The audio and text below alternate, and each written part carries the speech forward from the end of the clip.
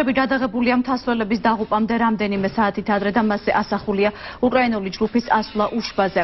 სამშობლოში ალპინისტების გადასვენების ხარჯებს უკრაინული სადაზღვევო კომპანია გაიღებს.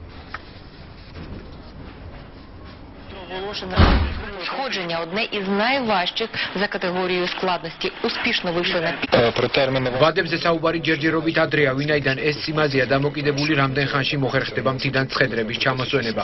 გარდაცვლილები ზღვის დონიდან 3700 მეტრის სიმაღლეზე იმყოფებიან. დღეს ქართულ მაშველებს შეუხდი და ერთადერთი რაც ჩემთვის ცნობილია ის არის, რომ მთიდან ცხედრების ჩამოსვენების პროცესს ხვალ დაიწყებენ. უშბაზე გარდაცვლილი მთასვლელების ალექსანდრე ტარანიტის და დიმიტრი ვოლოშინის ცხადრებს თბილისში ხვალ გადმოასვენებენ.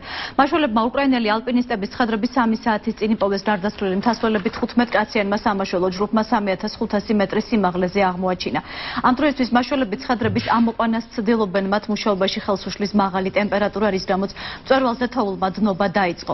ორი უკრაინელი ალპინისტის ჭლდიდან მოწყოტის შესახებ მესტიაში ადგილობრივ მთასვლელებს რუშინ დილით შეატყობინეს. მათ ზეფნაში მაშველებს ადგილობრივ ადგილობრივებიც ეხმარებოდნენ. უბედური შემთხვევა მწვერვალიდან დაშვების დროს მოხდა.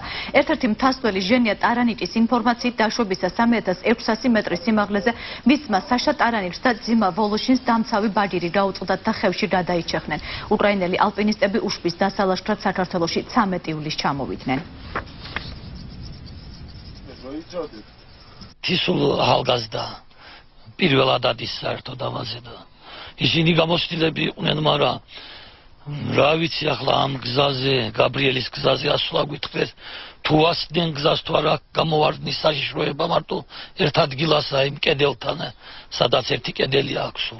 ჩვენი სახლიდან ისინი გაემგზავრნენ 2012 წლის 15 ივლისს კვირა დღეს დილით.